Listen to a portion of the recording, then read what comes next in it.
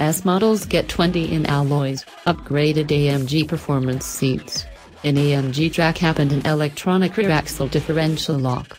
A 2,755 pounds, 765 pounds for the GLC 63S models. AMG Drivers Package raises the top speed of the GLC AMG and GLC AMG S models to 167 and 174 miles per hour respectively.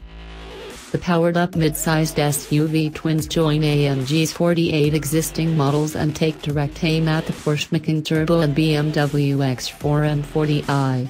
They're powered by AMG's twin-turbocharged 4.0-liter V8 petrol engine that produces 469 bhp and 479 pounds-foot in standard Geyser 503 bhp and 516 pounds-foot in S models. Based on snails of the C63, GLC 63 AMG snails are expected to be split into mostly non-S cars for the standard SUV, while the coupe is expected to be near a 50-50 split, according to Mercedes.